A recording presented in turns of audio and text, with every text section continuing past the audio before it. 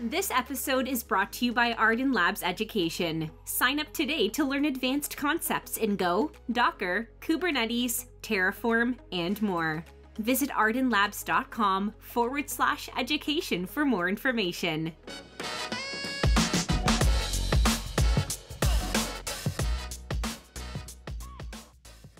Welcome to the Ardan Labs podcast. Our special guest today is Ishuah Kariuki. Hey, Ishuah, how's it going? It's going well. Thank you for having me, Bill. Um, I'm honored to be here. We're honored to have you. Now, t- uh, where are you talking to us from today? From Nairobi, uh, Kenya. I love that city. Yeah, I love that city. Did we get to meet when I was there? Were you part of that uh, event? Yes, I I came to your workshop. Uh, I came in a bit late, but I attended your workshop. Yeah. I'm sure I made a little fun of you when you walked in late because uh, I'm known to do that. yes, you did. no doubt. Um, actually, the picture that I have on my Twitter banner is from that day when I was running to the camera. So I'm sure if I look closely, I'm going to see you in that in that picture. That's that's awesome. All right, give everybody a couple of minutes of time to uh, share what you're doing today in Nairobi? Right now, I am a software engineer at uh, Microsoft. Um, I I've been doing this for 11 years, and I just joined Microsoft um, last year, July. Um, yeah, I I really love building things, um, understanding new things or new ways of writing code or even new languages. I also enjoy hiking and running uh, and being outside when I'm not on my computer. So, what are they? What are you um, specifically doing uh, at Microsoft? Like, what what what problems are you solving, and then kind of maybe what tech stack you're using for that too? So, I'm currently working at on the Azure Azure Active Directory, and yeah, what I'm trying, what my team is trying to do is improve how users uh, report problems and how they how we offer them solutions before they can, you know, submit issues uh, and talk to a human. So we are we are trying to reduce the time and the number of uh, incidents or cases that are reported by users by actually giving them solutions before they create the the problems. And uh, tech stack is interesting. It's C sharp and C sharp for the backend and React for the front end with TypeScript. Um, unfortunately, I'm not writing Go at the moment at uh, at Microsoft. Hope soon enough, soon, soon enough, I'll be writing Go. Um, but yeah, that's that's what I'm currently doing. That's kind of the problem I, I would have expected you. I would have expected you to say C sharp. I was a C sharp developer before I moved into Go, and I was really productive with that programming language. I I enjoyed C sharp. Um, I, I, I like the language, so that's that's fair. It must have been exciting to get a job at Microsoft, right? Yes, it was a bittersweet moment uh, because the team I worked with before joining Microsoft was, I feel like, one of my. Um, I really enjoyed working with that team. Um, I'd been there for two years, and the team grew as I was there. Um, it was a pretty small team, eight people, eight to ten people, ten by the time I left. Saying that I was leaving, and that whole whole situation was, I felt it, it was a bit emotional, but you know, life happens and we move on. yeah. Uh, uh, people don't, I didn't know this when I went to Nairobi, but there's a lot of big tech that's setting up offices in that city. I remember being near the mall or something where a lot of them were. There was an amazing mall over there, and I think a lot of a lot of the companies were setting up kind of shop in that area. I could be wrong about that, but uh, it's nice to see. Yeah, there's there's quite a number of companies. Um, Microsoft expanded has been expanding since 2019. Uh, Google is now here, is now expanding rapidly, and it's it's kind of created this uh, uh, scenario where you know the big tech companies, of course, are paying better, and now there's this there's the other tech companies, the tech companies that are you know Nairobi based or you know, here, and and now there's this pay pay difference and you know compensation difference that they have to account for. It's um I mean there's a lot of great engineers in the in, in the region and a lot of great companies that are local to the region and I'm and I'm sure this is this is just going to get better. So so that's everywhere. The moment Google, Amazon, I don't care who it is, they show up, it's just that's it. There's an exodus and it just becomes more expensive for companies like myself to Yeah. to hire uh, right? It's just that's Yeah. everywhere. So um, but at the same time it's it can also help um, uplift a lot of people and it opens up jobs too right? So you moved on to microsoft. That opened up positions for other people now too. So i mean there's there's good and bad with everything there. Okay we're going to get back to how you ended up at Microsoft in a little while, but I want to kind of hear your journey, your story through tech. What I want to do first is we, I don't know, how does, before I ask you any other questions, uh, because it helps me with kind of dates and time frames and stuff, can you describe just a little bit what the school system is like up into the time you start university. Like, so in the US, you have what's called grade school, that's like kindergarten through six, and then you have middle school, seven and eight, and then you have high school, right, nine through 12. And by the time you're in 12th grade, you're six or 17, maybe 18 years old, right? And you start school around five. So, can you describe how just school works in in Nairobi, so I can get a sense of kind of time timelines there? Okay. There is uh, kindergarten. Um, that's between ages of three, I think four and four to six, and then there's uh, primary school, which goes from one to nine to eight. Um, and then this is what I went through. There's currently a shift in the system. It's completely different now. But what I went through was uh, kindergarten, and then primary school, one to eight, high school, uh, which is four years, and then uni- university, which is four to five years. Okay, so it's on the same. It was that timeline is exactly what we see in the U.S., right? So, how old were you then when you graduated high school? I was.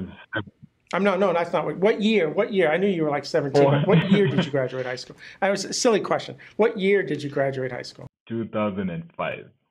Okay, perfect. Okay, so 2005, you're like 17, 18.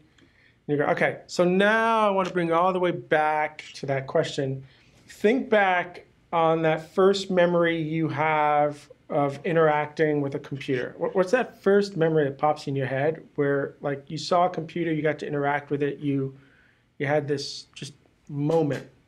Um, first time was at my dad's office.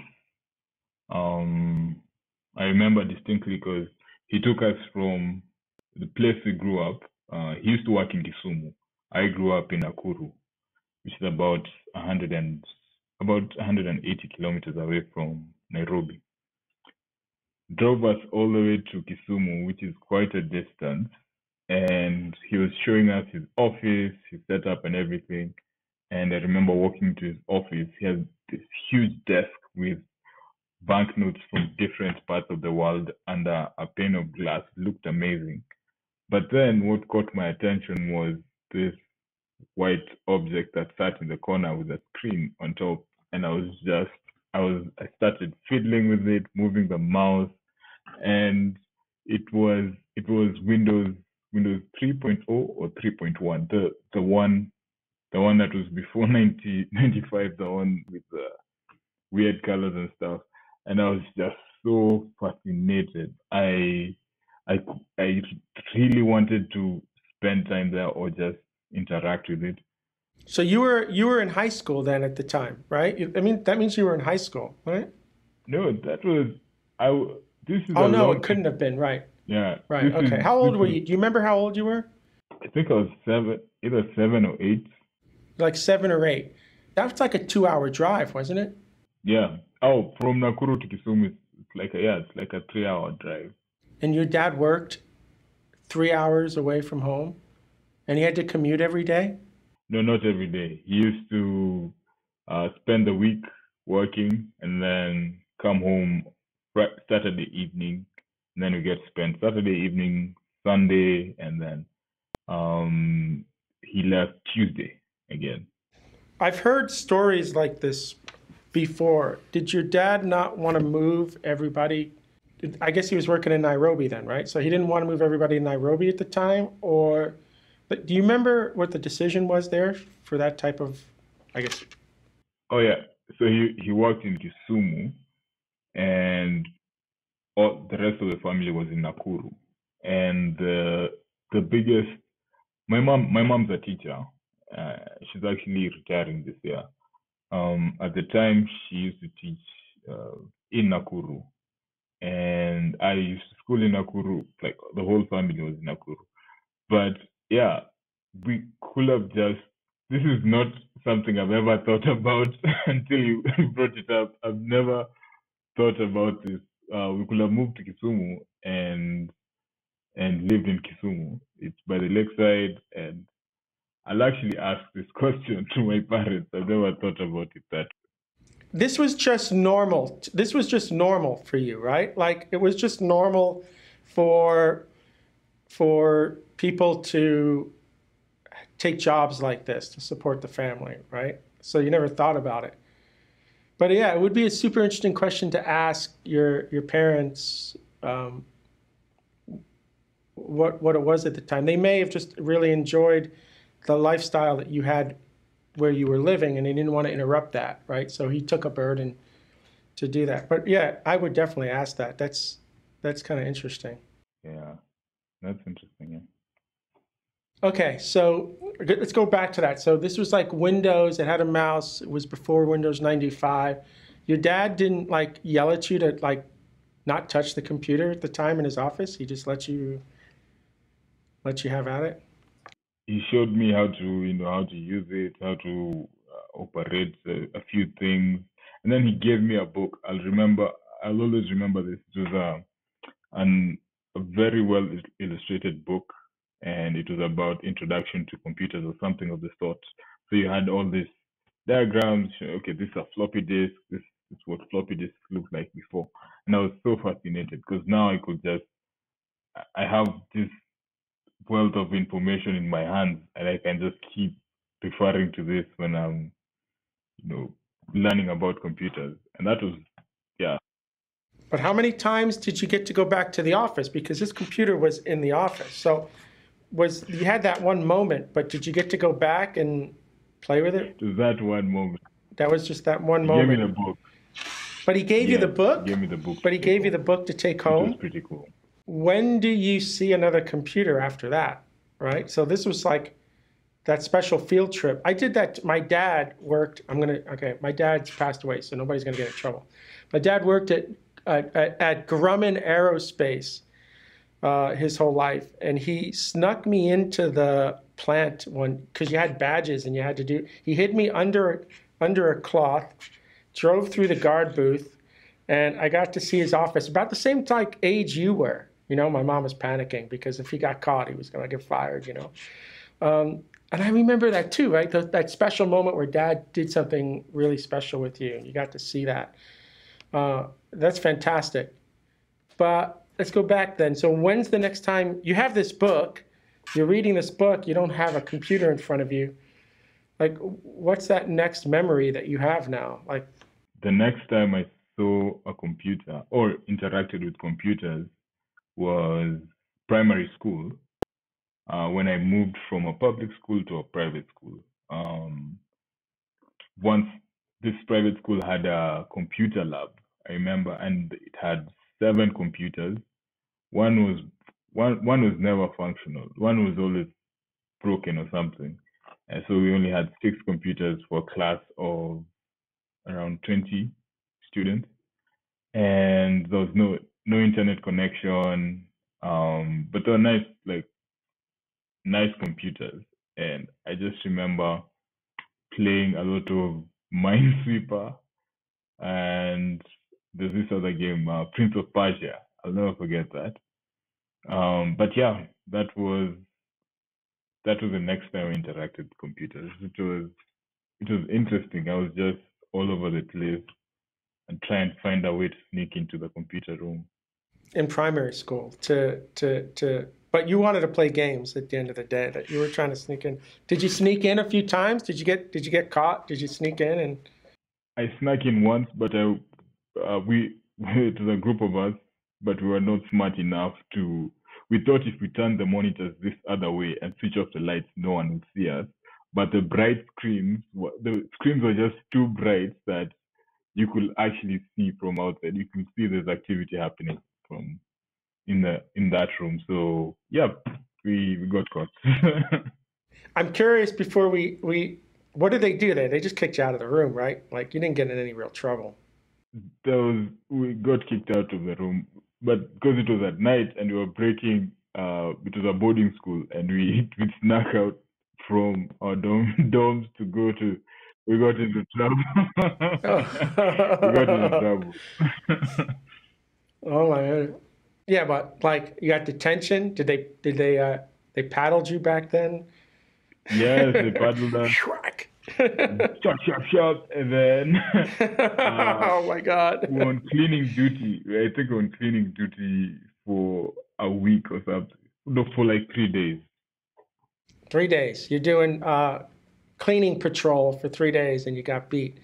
But that didn't stop you. You tried again because come on now, you're uh, you're like 14 years old, right? Yeah, and then there's Prince of Persia waiting for me over there. There's other new stuff.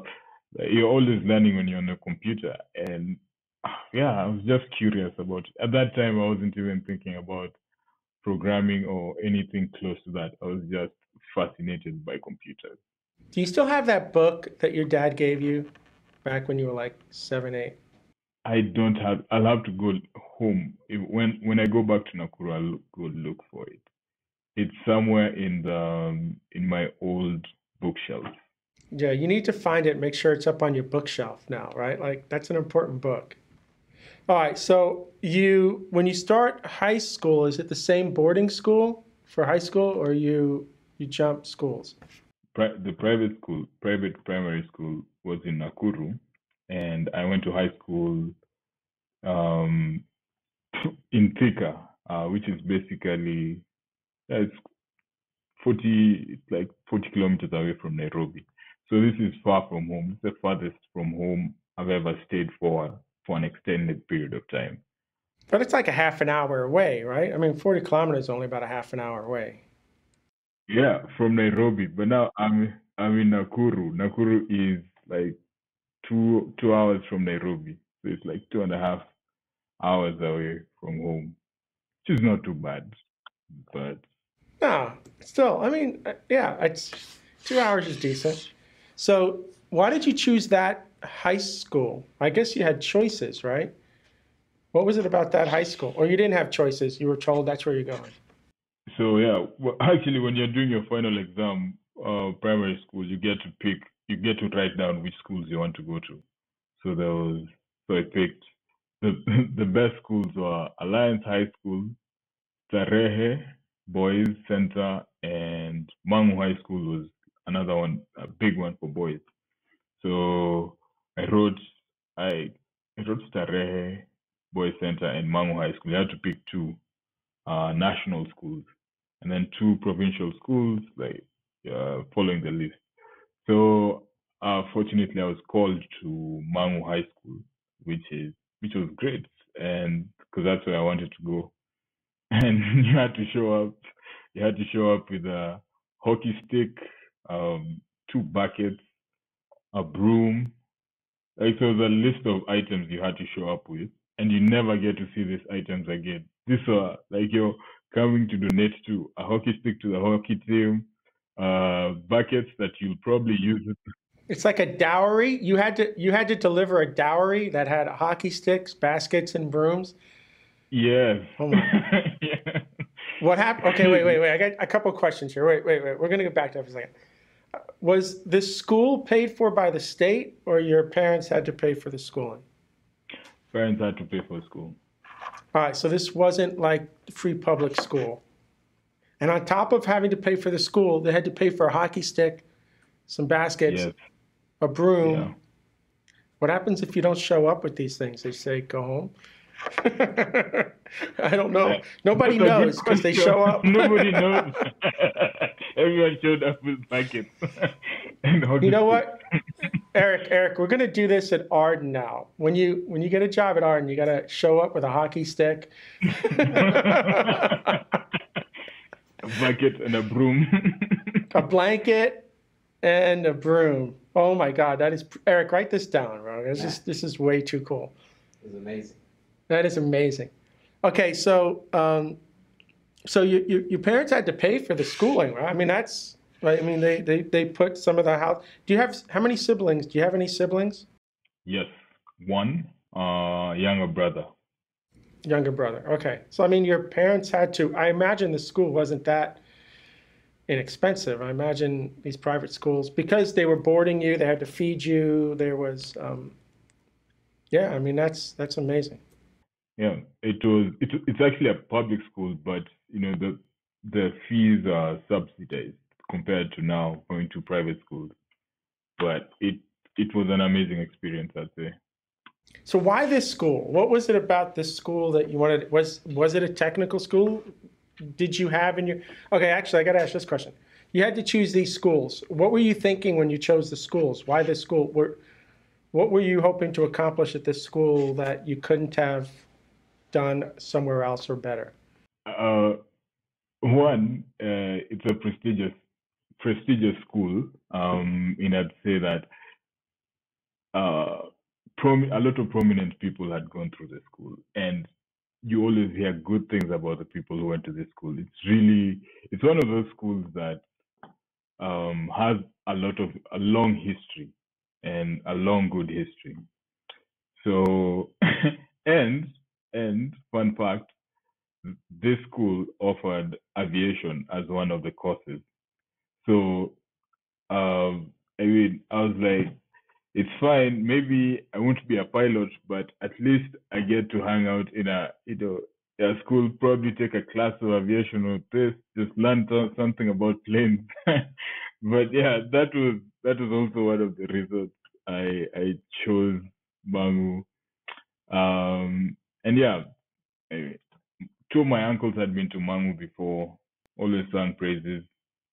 Um, but then they were in Mangu back in the back in the 60s and the 50s. So quite a different experience. Yeah. Yeah, well, yeah, every right, but still, you're you're okay. So now I understand the, the school. This is a four-year high school, right? Right. So my guess is you're also pl- playing sports. You're doing music, or is it pure just academics? Sports, uh, sports was highly encouraged um, at Mangu. Uh, so I was I was in the in the rugby team. Not well, okay. What number did you wear on your jersey? What, what was your position in the rugby? I was I I was a tight head prop. You were a prop. Yeah, I was a Okay, prop. I, I played hooker for like like a few months until I, I thought my neck was going to break in half because my props were not good and they didn't go forward. They always went up. It was not good. No, yeah. So where's my neck going to go? I'm to snap, bop. It's like I'm done with this, you know. So you're a prop. I mean, you're that's an important position right there. Yeah, yeah. It was it was fun. Uh, there was a lot of character development. Um, I was not the biggest guy in the in the squad. I wasn't the the fastest, but at least I was I could hold my own on the on the pitch. I could. I was I wasn't a star player by any chance, but uh, I developed a sense of teamwork where um, the team is bigger than the self. It's you, it's bigger than the one individual, and you're all working together to to achieve a goal, and that's that really sunk in. Um, we had a really great coach. Um, I'd say Mr. Kiwanuka, and he always he always reminded you that it's a it's teamwork. You're not you're not playing by yourself. You are you are a unit. Um, that being said, I didn't play it for too long. I think I I only did two years of that. It's a rough game, man. It's a rough game. I, it's a rough game. I, it's impossible not to get hurt. But um, did you guys have the big rugby parties after the game? I, I always remember having to drink beer out of a somebody had to take their shoe off and we had to drink beer out of somebody's shoe after the game. That was not that was not pretty. I think they called it shoot the boot. Shoot the boot! I'm like i don't want to shoot the boot. No but you're in high school so none of that's going on because you've been kicked out right? Yeah we're, we're in high school um, like you the best thing about that would be um, you know food after after the game or uh, you know, drinking a lot of soda, something of the sort, a lot of bread. It was that was the celebration after the match. That was the treat. Uh, that was a treat. All right, so that was a treat. All right, let's talk about high school then. Are you able to get into any computer classes in high school? Does that exist? Is that is that where some more interest ends up? Talk to me about that. You end up with your own computer in high school? How does all that work at this school? So the this school also had a computer lab. Um, no internet, unfortunately, but it had a couple more computers, two rows, I think almost 12 computers. Yeah, there were 12 computers. And wow, that was quite an experience. I would find excuses to just spend time in the computer lab. Um, of course, games, and by this time, I had developed uh, a bit of curiosity about what does it mean to, you know, how do this how this games developed or how what are these programs? How are they written? And then that's how I discovered programming. And then now I started you know, looking up when when we go break go home for the holidays I'd take some of my pocket money go to a cyber cafe an internet cafe and now Google and then print out stuff or just save it on a floppy disk to go read at home. And I was, I at this point I discovered now how to write programs. And the first programming language I I used was Pascal programming language because I because I this was just my my young self going on on the internet something I'm not used to having and then trying to find out okay how do you write programs? How where? Looking for guides. And then the first program i wrote was just as i was following instructions and it was how to create um, an encryption program that just switches every 13th letter can't remember, 13 letters and then creates a palindrome. It was it was interesting it was just you're doing this in the cyber cafe or you're doing this back at school. They had they had a Pascal compiler on those computers at school. They didn't have a Pascal, did they? Oh yes, they did have Pascal compilers in school, and then also also doing it at home when I was home for the holidays. We had a we now had a home computer. When does the computer end up at home? Because you haven't been at home, right? You were you went to boarding school by seventh grade. You're now again boarding in high school at some point you come home one day and there's a computer there, right? So, so uh, this was when I was in uh, high school, year one, high school, form one, and I went home, and what do I find? This white box with a monitor on top, and I was happy, and so trying to figure out how do you how do you start how do you operate this get to find out it's not yet working. Uh, my cousin who's putting it together um, had some issues, so he had to go. He'll come back the next day to fix it. So I'm I'm there waiting. You know, I go all the way to his office, try and find him to bring him. You know, let's get this, let's get this working. And so when it finally works, it doesn't have any user interface. It's just on MS DOS. Um, what happened? He, I think, the hard drive that it came with broke or something. Just had an issue, and then he had to look for. He had to source another hard drive, and then he couldn't get. It was just a long thing, but. But you were there that day. He's doing it all. You were there that day. I was there. I was so that's like watching. amazing, right? Yeah. That you were there that day. You could not have. You might not have been there, and you didn't get that experience. But now you're back in. You're back in high school, so you're able to now go back to school, jump in the lab, and also continue program. But they didn't have any classes like programming classes in high school. No, we didn't have. We had classes, but it wasn't uh, an examinable course. You couldn't take it. You Couldn't follow through, do a final exam with it. But they had like extracurricular classes for that. Um, we had a bit, a little, a few programming classes, some basic stuff. I can't even. We're writing macros or something. But it's not the focus of your education there. I mean, No, if you Yeah. if you're able to sneak time in the lab between everything else, you you did that. But it wasn't your primary focus nor any sort of elective you were taking in the high school. So now I'm curious, right? Like you get you're you're you're close to graduating high school, and now you have to think about what the next step is, which I imagine uh, is going to be university, right? It's 2005. You're you're you're going to be graduating.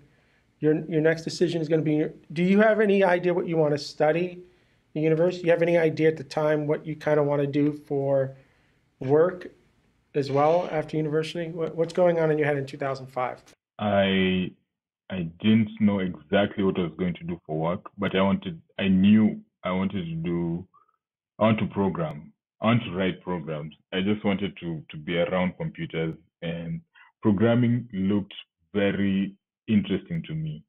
Uh, from what I'd written, from what I'd read, um, I I actually remember reading about Linux from a from a magazine. Like it was like, oh, this other operating system, Linux, is uh it was a New Scientist magazine, I think. I think it was a New Scientist, and they were talking about um operating systems. Uh, it was just a like an article about operating systems, and I was like, wow, there's something else other than Windows. All this time I've been using Windows, there's something else, and yeah, just my curiosity was sparked. At that point, I was I was sure I was going to to do something around computers. Um, probably be a programmer or um, system analyst. That was something that was in my heavily in my head. So then, what are your choices here for university? Do you apply to a few universities that focus on this? Yes, um, there is. So there are a couple of universities that have that offer. Actually, most of the universities at that time offered computer science. They still do, but now it's there are a lot more courses, a lot more options uh, to go through.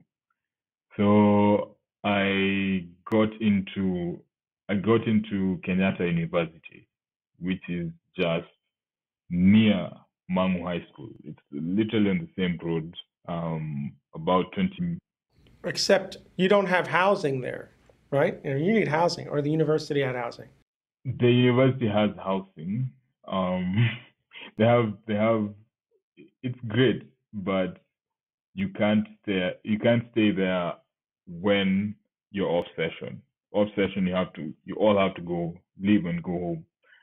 So I couldn't bring this um, desktop computer.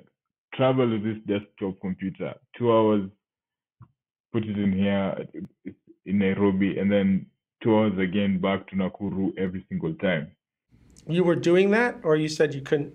I couldn't do no, I, I couldn't do that.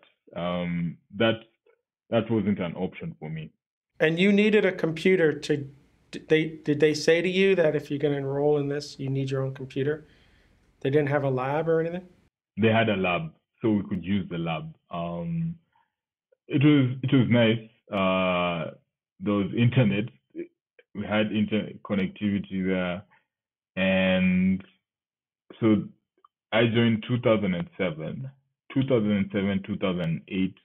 that was my like I my primary mode of you know access to computers was through the lab, and that's how I got to interact with things. Got to learn Java um, using was it the BlueJ editor? Oh, can't that was a while back. BlueJ, and then just remember writing my first pro- Java program had a lot of JOptionPanes where just popping up, asking uh, enter your age, and uh, yeah, you you now qualify for whatever. It was an interesting experience. Do you enjoy those? It sounds like you enjoyed those programming classes. You enjoyed learning all that stuff. In the that was a four year degree, right? So you graduated high school in 2005. So was that that was like from 2005 through 2009? You're you're at university. Those are gap year. I finished high school 2005, and then there was a gap year. Um, uh, started 2007 university, and then 2007 2009 I didn't have a personal computer to use. And then 2009, my dad got me a, a laptop. My parents got me a laptop, and I was so excited because at this same time, they there was a free Wi-Fi situation happening in in in campus. They had all these hotspots around the hostels, and you could now have connectivity from the comfort of your own room and that was a game changer. Now I could, now I didn't have to go to the library to to do research or to go to a. I had connectivity at my own comfort. I could just study independently, and and you know that was amazing. Um, I'll never forget that. I think it was called Butterfly Wi-Fi or something. Truly amazing. I yeah was like so your your parents getting you the laptop and then having open access to Wi-Fi going in 2010 was was was um, yeah life changing, right? You yeah, that's amazing. So when you finally graduate university with a degree in what was your degree in? Was it a computer science degree, computer information systems? Computer science degree, and yeah, there was there was a lot of program a lot of math. Uh, I enjoy math. Fortunately, I enjoy math, and there was a lot of uh, programming, discrete mathematics. But one of my favorite classes was um, computer graphics, where we got to work with OpenGL, uh, C++, and OpenGL. And this was my first time writing a C++ program or any C-based language. And now I was I was just learning new concepts and you know understanding when when my program crashed what was happening, trying to understand like what is this error, what does this error message mean, and going into it. And the final project was um, we're supposed to model one of the hostels. You choose a hostel and then you model it. Uh, you just model it using OpenGL that was so much fun. I think I spent more time doing that than actual. that's that's awesome.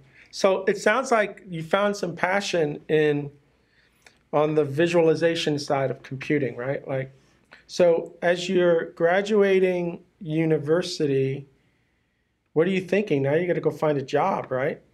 Mm-hmm. So are you thinking now I'm going to move to the big city of Nairobi and find a job? Like, how does that work? Do you go home first? Do you talk to me about that transition out of university, getting a degree, and then getting into a workforce? Because now we're talking 2011, right? You graduate university in 2011.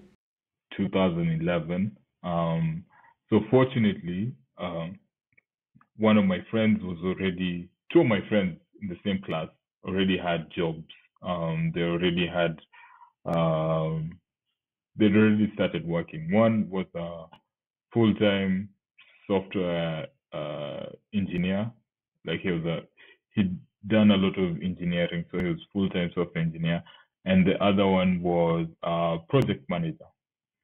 And um, I had a chat with them. I was like, you know, I'm I'm I'm ready. I want to do this. I'm I'm really I really want to work.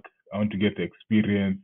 So I went ahead and got a job before I graduated, and that was amazing. After immediately after my coursework, just before graduating, and wow, that was I'll never forget that going to that interview. I was I was almost late for that interview. I had to, you know, run from the bus, take off my shoes, and then just floor it. Try get to the try get to the office just before time. And uh, I remember I was sweating. Um, I was trying not to look nervous. like, give me, yeah, yeah, I'm ready for this. Uh, interviewed with the the CEO, and he was like, okay, you know what? I'll give you a chance. Uh, you're straight out of uni. This is what I'll pay you. Are you okay with that? Fresh me doesn't know how to negotiate. I'm just fresh from the classroom. I'm like, oh, this is this is money. You're paying me money to work. Okay, fine. I'll take I'll take it. I didn't even negotiate. I realized later that that was uh, that's the worst thing to do. You don't take you you have to negotiate. No, but look, you needed a job right out of school, so somebody is willing to pay you. Like, I don't think it was. A lot of us have done that. I did the same thing out of school. I don't care how much you want to pay me. Just I need the job. I need the experience. I, I can live on this. It's the next job that you got to really start focusing on negotiations, right? But somebody now allowed you to have some resume experience there. So, so what did you do? What did you do at this company, and how long were you with them? So I worked um, there was um platform I was working on. It was an open marketplace for farmers and then just to connect called ukulima.net built on php CodeIgniter php and yeah that's what i worked on primarily and i just remember thinking wow this is you know I, it was a, also it was a rockefeller funded project and i was like wow this is this is amazing. I'm working on world class projects. Wow. I was just fresh out of uni. I'm I'm getting into uh, I have a I have a desk. I have a you know coffee mug and I'm working on this. Yeah, but where are you living? I'm living in Nairobi now. I moved to Nairobi. Yeah, but you're sharing you're sharing a room with some some people. No, no, you know, I lived in a small, in a small, uh, I'd call it a studio apartment. That's the best way to describe it. You had enough money to pay for that? Half my half my salary was going to my rent. Half actually half my salary was going to rent. The other half was I was trying to balance between um, food, water, electricity, and hanging out with friends. One of those had to, I had sacrificed one of those. Well, you needed a couple bucks at least to grab a beer or something, right? Like yeah, yeah. But you did it. so they were paying you enough to have a place to live, food, utility. Um, I'm curious if you were expected to send a little money back to your parents or not, or that wasn't going to be, that wasn't necessary. No, that wasn't necessary. Uh, yeah, my mom told me early on, never, you never have to do that. Um, earn your, you know, earn your money. We took you to through school not because we expect you to pay us back, but because we want the best for you. So I, ne- I never had to send money back at that point, and it's you know, once in a while when I when I had when I'd saved enough, I'd I'd like do something nice for my brother or my folks, but it was never expected. Okay, so how long are you at this first job? I mean, I know that you're. You, everybody lives paycheck to paycheck. Sometimes I feel like I'm still living paycheck to paycheck, and I'm 52. Okay, so, so I don't know if that ever ends, but um, not to get you depressed or anything. Uh, um, how long are you at this job? I'm at this job for about eight months. Um, I joined May 2011 and then left January 2012. so I got this other job, and the pay was four times what I used to get at this other place. So, so how did you find this job? Um, a friend connected me. A friend I used to I worked with at the first job. He was like, "Yo, uh, you, there's an opportunity that's come up. Would you like to speak with, with someone?" So same thing happens. I go to this co-working space, uh, sharply dressed with my laptop in tow, and I'm looking for this. I'm looking for this guy. Uh, so where where do I call? And they had a makeshift bar in the middle of this co-working space for Friday. He was sitting there and he was having a beer. So I sit there and I also have a beer and we have a conversation. It's like, yeah, um, I've heard good things about you and I think I want to work with you. When uh, when can you start working? like, I have to give my notice at this other place. Um, I can do I can do two weeks notice. I can do a month. Like you do a month and then um, we can start properly. So this is a, a whole conversation over beer. There's nothing. There's nothing signed. There's nothing. Yeah. So I was like, I was. Uh, that, this is a Friday, and then Monday I'm like, did that actually happen or was it you know, a. Question? But you have to research, make sure this is a legit company, legit job, legit everything, right? Yeah. So I guess you find out it's legit, right? So what do you do next now? It's Monday. Now what do you do? Monday, and then um, I go just tell my former boss, yo, you know what? Uh, the boss at the first job, just tell him, I got this offer, and um, and I'm taking it and he was like, "Yeah, I'm I'm happy for you. Take your chance and grow." I was like, "Yeah, this is this is nice." That's amazing. Yeah, and I'll never forget that because he was um he told me that you, you should never hold back people. Uh, let let people grow. Um, and it it always gives back. It always comes back. I I agree with that hundred percent. So suddenly you find yourself now working. You got a lot more money coming in, mm-hmm. right? You don't have you don't move though, right? You stay where you're at, or do you upgrade your lifestyle? I stay where I'm at. Now I can buy a fridge and a microwave, and I bought this all this stuff. Um, because before I only had a cooker, uh, a few pots, uh, plates, just stuff like that. No, but I was living much better. So you're you're you're you're living large now, bro. You're you're you're you now can cook a little bit at home. You can have some cold drinks. You can keep actually different food now. Yes. Wow. What what what's the work at this place? So so what are you doing there? What, what, are you still doing PHP? Are you still doing? Yes, I'm doing PHP. Um, it was a it was a blog. It was a financial blog. So what I did was uh, maintain the main site and then just make sure everything works okay and looking forward like in planning ahead for things like if if you're expecting to like a spike in traffic what do we do? I i was just my own boss. And this was i was just given free so was it a small company? Did you work was there like five other people there? Were there 20 other people there? 10 other people. By the time we grew uh, a year later, it got to 10 people, but it started at five people. It started at four people, actually. So you were both doing development on the website and then maintaining the production environment, I guess.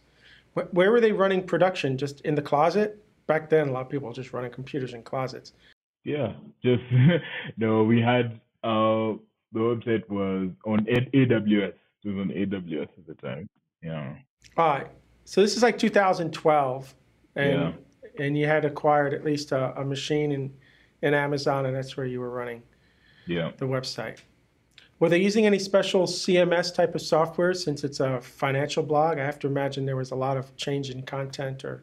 Yes, uh, we only we only only used uh, WordPress. WordPress with a few tweaks here and there. So how long are you at this company? I mean, your salary's gone up. You're you're living pretty good. You must be much more relaxed. Your parents must be incredibly happy. You're you're pretty much now self sufficient. Um, it's 2012. How long are you? How long are you at this company? Uh, one year. So what happened? Wow. Uh, yeah.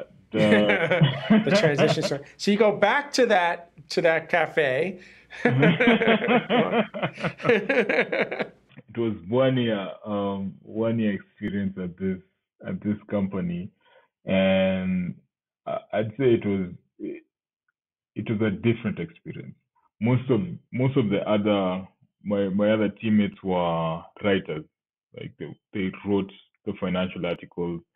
The, there was an editor, so this wasn't a very technical team I was working with. It was mostly writers, and now with that sense, I just also changed the way I think I thought about writing, and I used to hate writing, but I gradually grew into it. I never wrote any articles, but I I understood how to express myself.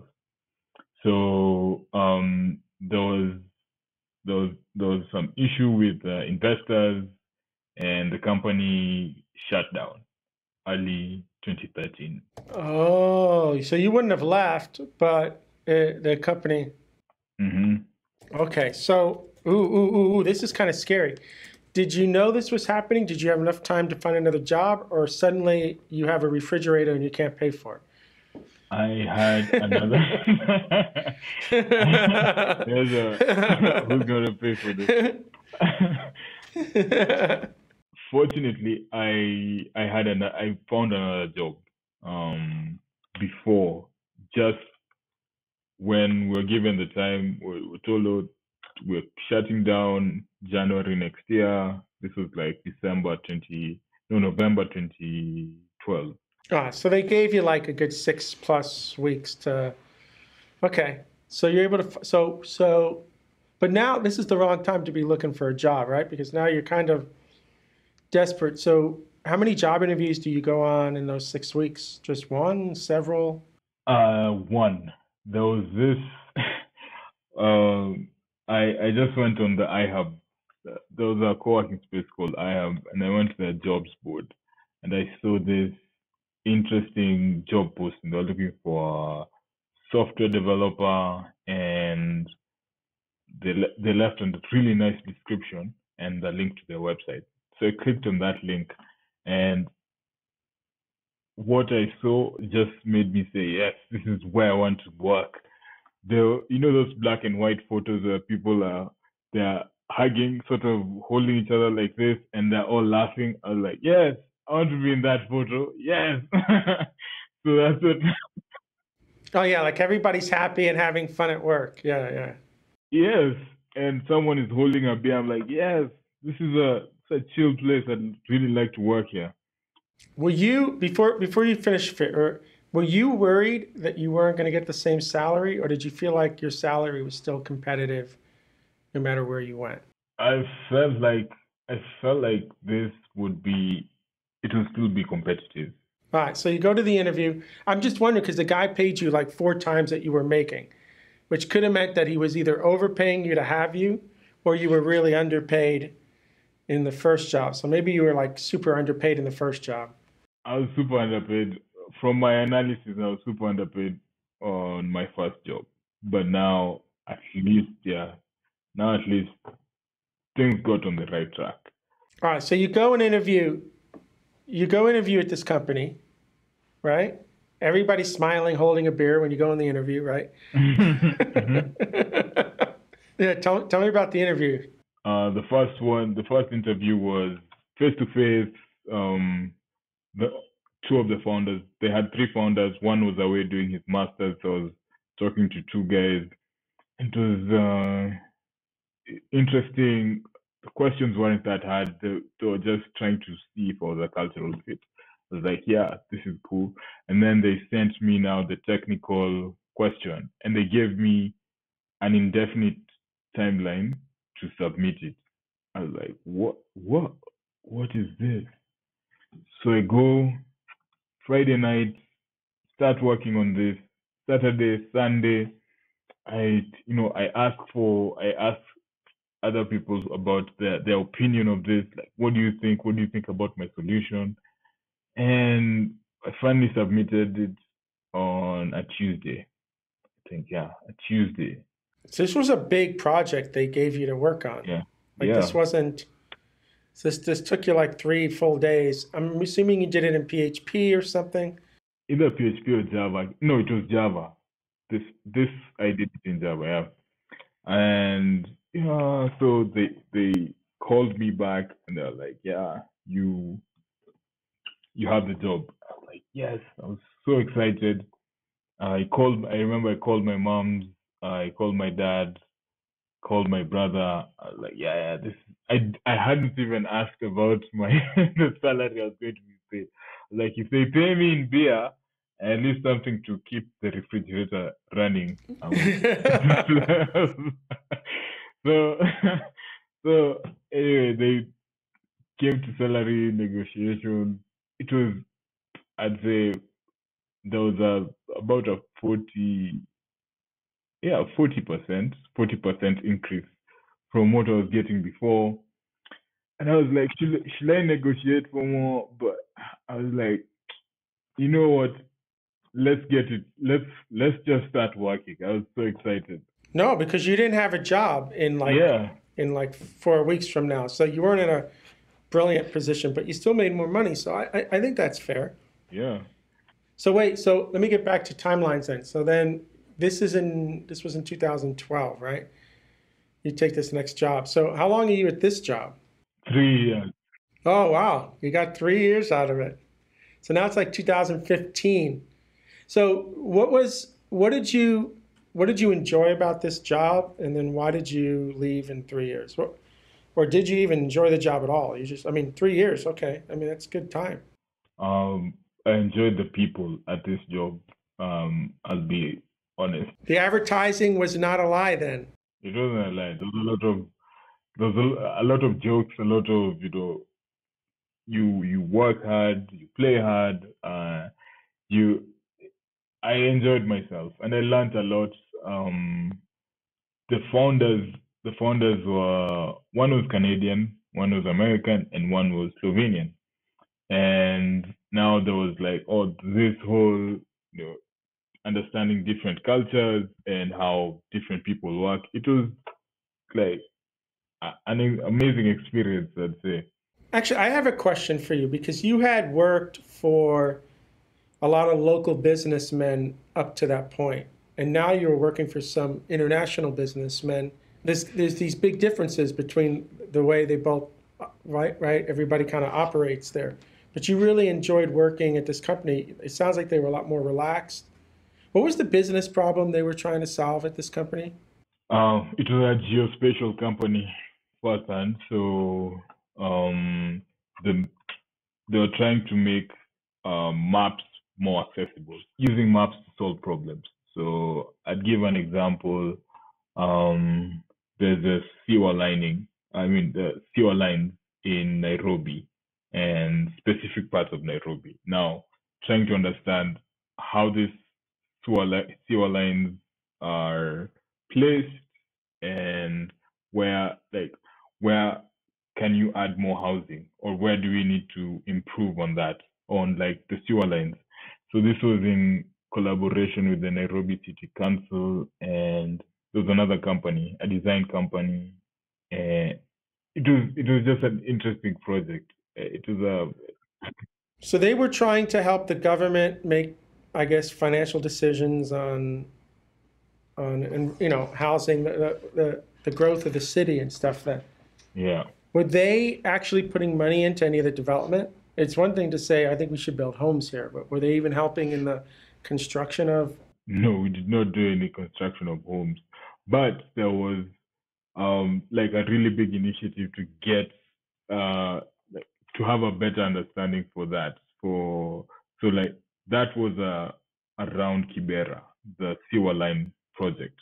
There's another uh, waste disposal project in Mathare, and that was Mathare is another um, housing area within Nairobi. and now trying to understand how to make that better. So this is amazing for you, right? Because you're starting to learn economic development in your in your city. Like this is a whole nother level of education that you probably never even thought about. Does does that still stick with you today? Do you drive around and look at things and start thinking about now more around economic development based on this company that you worked at? Yes, uh, it properly changed the way I think about governance, the way I think about um, like economic development, and how we, I myself as a citizen, should take up charge on things that I don't see are right. Like, let's say there's a there's a sewer line that's been open for three months. Something should be done about that. We're paying taxes. But yeah, that's really changed the way I think about um, governance and economics at large. So are you primarily coding in Java here? Are you working with certain tools? Like what's your day to day there? Python. So you switched to Python. So your your programming test is in Java, and then you end up working in Python. The the CTO told me to choose um, whichever language I want to. I choose I choose I chose Java, and then now worked with Python. Came to really enjoy Python. All right. So what gets you out of this company? What what happens three years later? Because I think this is an amazing opportunity for you. I feel like the, the experience you're getting, not just technically, but but um, business oriented, socially, economic. Like, there's a lot you're learning about even your own city and your own country, right? Mm-hmm. So, Yeah. what happens in three years when it's like now 2015? Who uh downsizing? They had to downsize and unfortunately had to let me go. Did they give you any warning? Did they give you severance, or you just came to work one day and you were? No, no, no. They gave me warning, uh, advanced warning. They just told me, um, they gave me two weeks, uh, no, two months, um, to start looking for something else. Then they gave me, a, you know, a comfortable severance package, um, and there's money I'd saved up. So at this point, after this job, I was not in a mad dash to go find another role. I could take So did they did they say thank you and gave you two months severance and now you were free, or did they give you two months of they were they told you two months while you were working and then they gave you severance? I'm trying to get a sense. Were you still going to work? yeah, I was still going to work. Um, and then they gave me severance after that. So you didn't find a job in those two months. So I in those two months of warning, you didn't find a job. No, I didn't find a job. I went I went for one interview. Uh, I don't know what happened.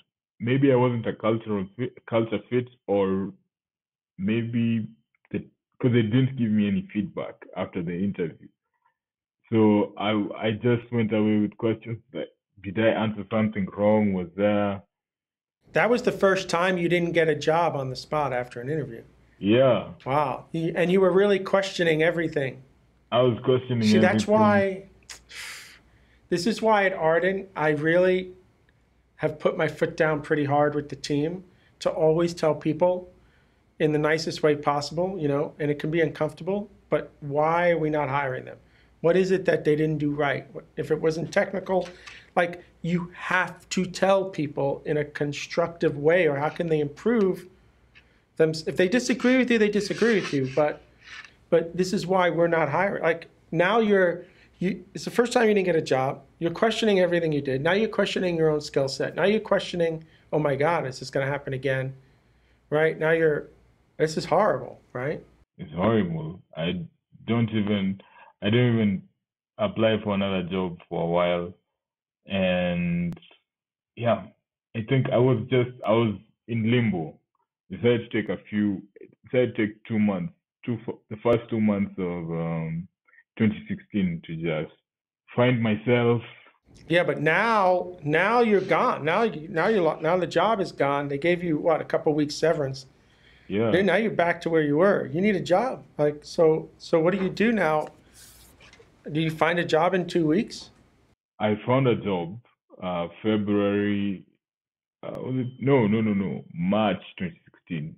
Um, this was at Radio Africa. Um, Radio Africa is a like a big umbrella company that has uh, all these radio stations, and there's also a, a newspaper section of it called the Star. And what was happening at the time is they wanted to move digital. They they had a they want to have more digital products. In as much as they still they still have radio and print, they wanted now to move into the digital space. And I joined to help build this music app called Songa Music. And that was just one ride, one amazing ride. How long were you there? How long were you there? I was there I was there for one year. This one this one you can call it there. Was it total? I'm getting a sense from you that that place was total chaos. That the left hand didn't know what the right hand was doing. Yes, there was so much chaos. Um, we were always almost about to release. There was always uh, always stuck in limbo. What is what is remaining? Should we do this before we release? So there was always I was always uh, in a state of anxiety towards the end of the week. I just remember I was always um, wondering: Is this is this when we release? Is this should should I plan for this? Well, so you had a lot of anxiety and stress every week because there was so much unknown and chaos. A couple things. What what were you were you programming in Python there? Java? Was it mobile development at this point? Ruby. I was programming in Ruby there. Oh my God! Every time you get a job, dude, you get you you jump into a new program. You're like this That'd be amazing polyglot at this point. okay, so so so you can't take it anymore. You're done. It's time to find another job. So how do you find the next gig? At least you have a job this time. Yes, at least I have a job. So I had two options. Wait, you wait, wait, wait, wait. You didn't go backwards in salary when you took this job at uh, Radio Africa, right? No, no, no. Uh, went up. So um, I got an offer from Andela when I was still at Radio Africa. Did you apply there? How how did that happen? Someone I knew, someone I knew at Andela recommended me, and then I said, okay, fine. Let me let me apply. Let me see this. And we, I went for interviews. I sat through a few, you know, uh, sessions, and it was great. They sent me an offer. And I took this back to Radio Africa, and Radio Africa was like, okay, um, we are offered, we are ready to counter offer that. I was like, wait, just give us your counter offer. I was like, okay, I'll just write uh, an absurd figure so that you say no, and then I'll just go. And they accepted. I was like, wow, I should have written a bigger number. but yeah, they accepted, and I was uh, okay. Let's let me just and this this offer came in um the June 2016. This offer came in late uh, 2016, around September 2016. So I took this trace, decided, okay, you know what, I'm going to make this thing work. Let's go. So you stayed, I stayed. And you said no to Andela. So this is in that first year. Mhm. So in that first year, you couldn't even take it. Like you're n number of months in, I can't take it. You went, you went to Andela. They offered you some money. You came back. They offered you more money. You did another six months, Mhm. and you still can't take it. So do you go back to Andela and say, uh, uh, how does that work? It, so what um, I was just I was talking to a friend about my frustrations, and he was he told me, you know, you know what? I feel like this other company might be a good fit for you. He actually sent introduction emails to two companies. Uh, this was BRCK and Jumo, Jumo.world. And I was like, okay, yeah, these are good options. I go to interviews, but I go parallel interviews. Uh, BRCK, I went, BRCK was the first one, and I was given a tour of the place, everything by the CTO, and then, you know, just given a, a run through of, of you know, the culture of the place. Then I had a technical interview with one of the technical leads um, a few days later. This other place, Jumo, we went. I went in for a heavy technical interview. That was my first. No, that was my second uh, whiteboard interview. But now there were two engineers, and they were standing next to me as I write my solutions on the whiteboard. It was pretty intense. And I remember walking out of that interview thinking, wow, that was a train wreck. Um, let me just go think about something else. And so I'm just back at Radio Africa, just thinking about uh, what what happened, and um, BRCK calls me and says, you know, I we're good. Do you want do you want this job? We we really would like to have you. Like, yeah, that sounds good. Okay, I I said, okay, yeah, let give me a moment to think about it. But yes, that that does sound amazing. Then Jumo sends me an email and like, yes, uh, congratulations, Ishuah. We'd like to have you as part of our team. So now I have two job offers. it's not, it's not. These are good problems to have, right? So good problems. So look, we got like 15 minutes left here, and I, I obviously we need to hear your answer on this. But I'm just so so we can move move. There's other things I want to cover, but anyway. So you got two offers. The, I'm assuming the money is pretty much the same in both of them. I'm going to guess that you were so wiped out at Jumo and it was so intense. And right now, what you need is to chill that you chose uh, BRCK, right? So what did you choose? I, I chose BRCK. And then ah, there we go. I had a feeling you were going to go there. You you needed you you didn't need intense right now. You needed you needed to chill out a little bit. What was the uh, so? How long were you at BRCK? One year again. Dude, it's all good because you know what? You're doing exactly what you need to do to get raises because you're not getting these kinds of raises working there. So, what was what was the programming stack there? What were you using at BRCK? Was it more Ruby? More Ruby. Um, there was some. Uh, what else did you write? uh, a bit of Python, but mostly Ruby. So too chill at BRCK, can't you, too chill. So what happens 12 months later now? You're just like, did something fall in your lap, or you're or you're looking at it? So yeah. Um, I'll tell you this though, eh, like your resume so far is like warning signs for me. because if I were to look at it and I see year, year, year, three years, year, that my brain would have went, dude, we're going to get this guy for 12 months, right? Like some people think that that's irrelevant. You know, I've talked to people who think that's irrelevant. You should always be improving. But you would have to explain this to me. But so far, I like the story. Like you're explaining it fine. If I can make life interesting and chill enough for you, you'll stay for three years, right? Yeah. So, so, yeah. so, so, what happens? How do you find this next? Uh, uh, does this next thing just fall in your lap? You had to take it. What? Uh, yeah, this next thing fell on my lap, and um, it, it was to someone I'd actually met at uh, Spatial Collective. This is my third job, the place I stayed at for three years. Uh, he was interning there. He was an he came in as an intern. Um, I think yeah, he came in as an intern, and then now he wanted to start his own company back in Kenya. He'd come in. Um, I think he was Georgetown. He was in Georgetown University or something. George, and then now he came into Kenya to start um, his own company, and he was like, "Yeah, you join us um, uh, to revolutionize how you know med- the medical structure of Kenya, like how medicine gets to people and costing and everything." I was like, "Okay, this sounds interesting. Um, let's let's see where this journey goes."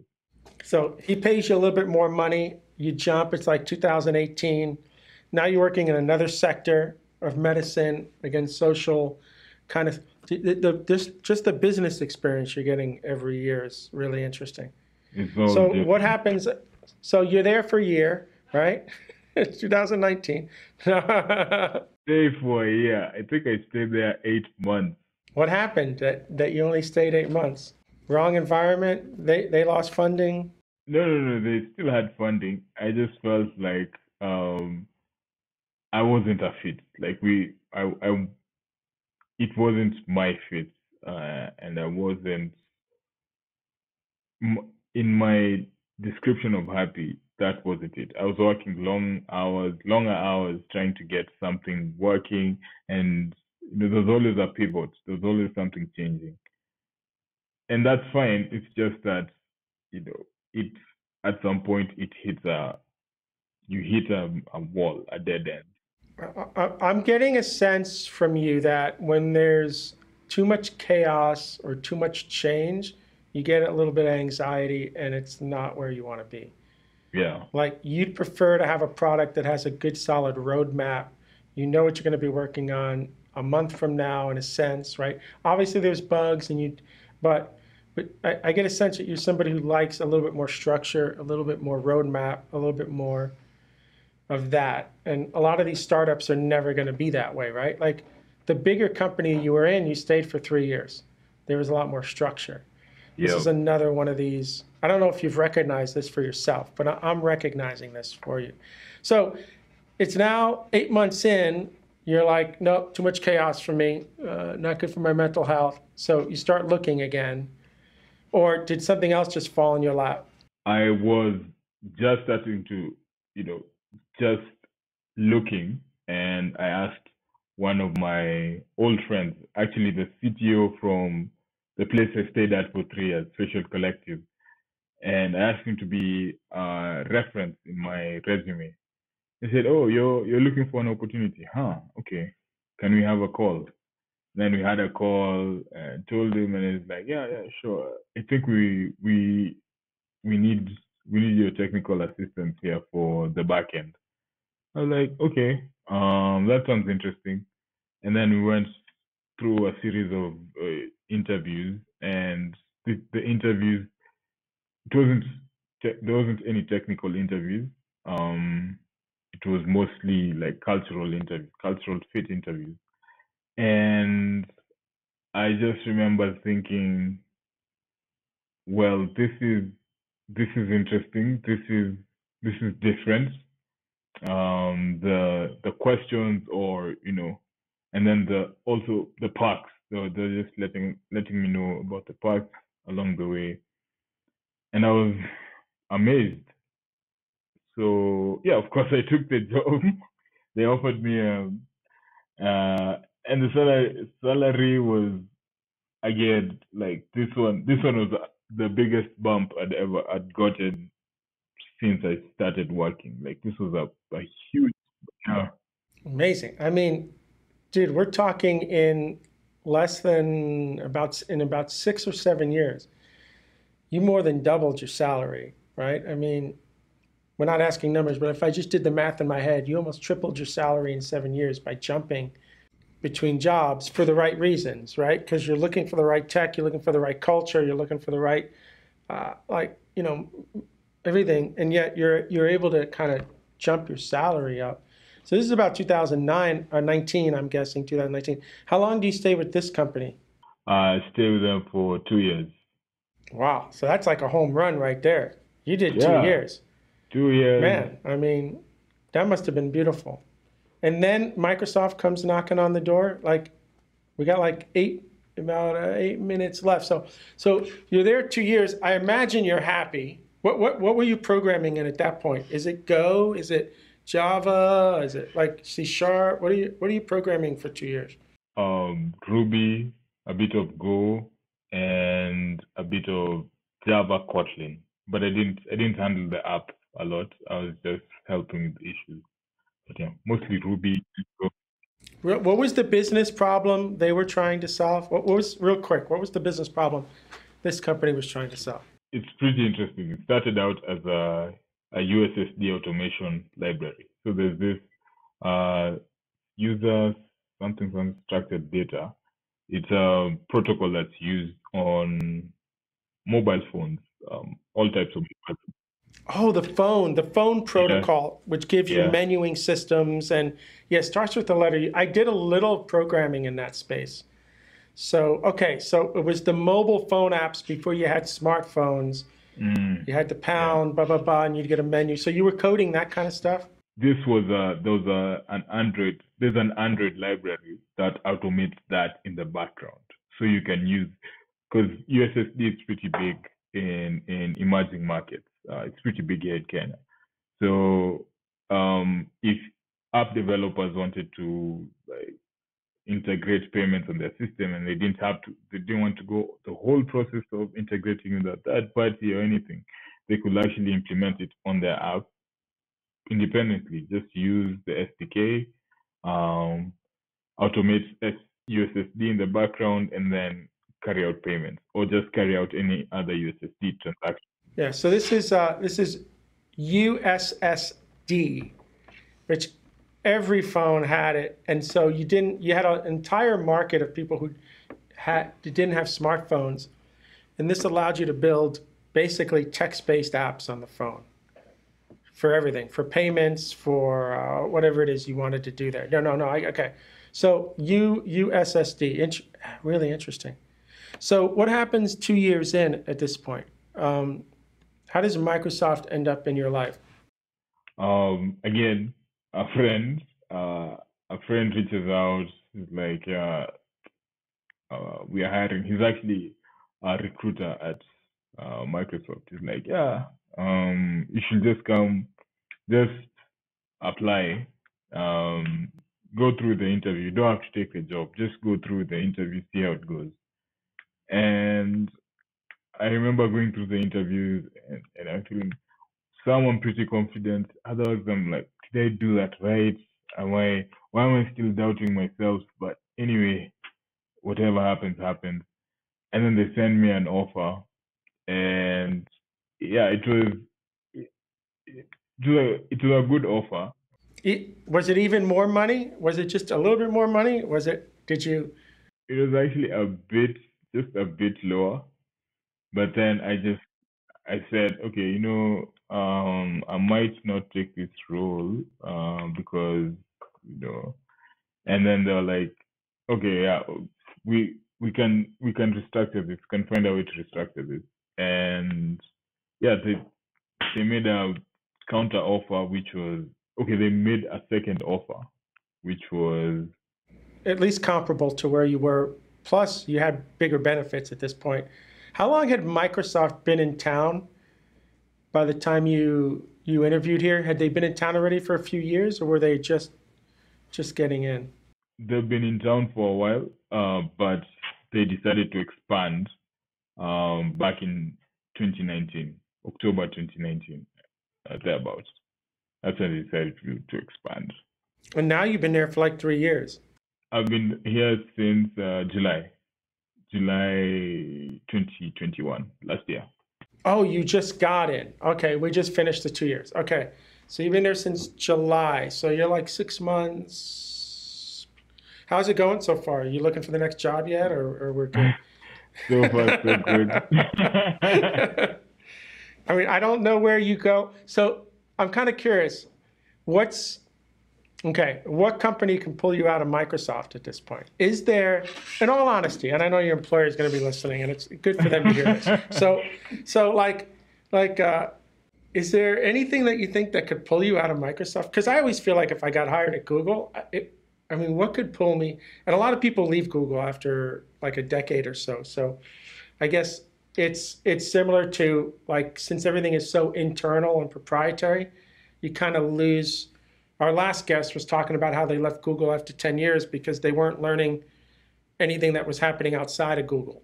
So I could see that, right? Like, and I imagine that you're doing a lot of Microsoft stuff. So you start losing track on what's happening outside of the big company. So maybe that gets you out of there in a decade or so. But are there is there anything that you think could get you out of Microsoft right now at this point? Are, are there? I mean, Amazon's there, Mm. right? Google's Yeah. there. Uh, Hmm. I'm afraid in six months you're going to sit somewhere and somebody from Google is going to say, "What are you doing over there Microsoft? Come over here." I know. Where wherever it takes me, I will like I am always op- open to opportunities. I'd like to like this this role at Microsoft is unlike you know all of the roles that I've had. This one is more it's corporate, the structure and everything, and but then the one thing that I really enjoy is the is the you know knowing what I'm going to be working on three weeks from now. Knowing that future planning, that is here. It's it, there's it's pretty well organized. It's extremely well organized. I, I think you need to stay at these larger companies. I really do. I, you're not. I'm just getting the sense that you're not a startup. You're not a, and that's okay. I mean, that's fair. There's nothing wrong with it. You are going to excel at Microsoft because you're uh, uh you're going to excel at Microsoft. These are the companies that you need to be at. I'm I'm somebody who can't have that level of structure. I I'm I get I get I don't want to use the word bored, but you know a little bit of chaos sometimes is kind of fun to like deal with, or try to at least wrangle it a little bit, right? So. A lot of the stuff I do, I call it chaos engineering. Like you're taking chaos situations and you're trying to, you're trying to bring them. Once you get them down to the your your board, let's move on to the next chaos. But you, my friend, really, I think I think Microsoft's going to be this amazing. I, I'm going to expect to see real growth out of you at Microsoft. I think you could grow grow really well there. So I, am excited that you're there. Thank you, thank you. Uh, I am excited as well, extremely. We are unfortunately out of time. I wish we had more. I always say that. I always say I wish I had more time, but we're out. And your your story is really really amazing. And I think for people who don't like I got to visit Nairobi, right? I got to visit Kenya and I got to see the culture there and I got to see the people. I fell in love with everybody over there. I really do. But there's a lot of people, at least in the States, that are pretty much landlocked here. So they don't get to experience or hear these stories. And uh, I'm really glad you, you shared yours with everyone. If anybody wants to reach out to uh, talk to you more or ask you questions, what is the what's the best way for somebody to reach you? Um, email Twitter, uh, email, Twitter, LinkedIn. What's your Twitter account? And we'll make sure that's in the show notes. What's your Twitter account? At Ishuah underscore. All right, we'll get that in the show notes uh, so everybody can uh, can uh, reach out to you. Thank you so much for taking uh, all this time to talk with us. I'm I'm really excited for this episode to to get published. So um, thank you. Thank you so much for having me. Uh, it's been a pleasure. So, this is Bill Kennedy with the Ardan Labs podcast. Thank you for sharing time with us and hope to see everybody again real soon.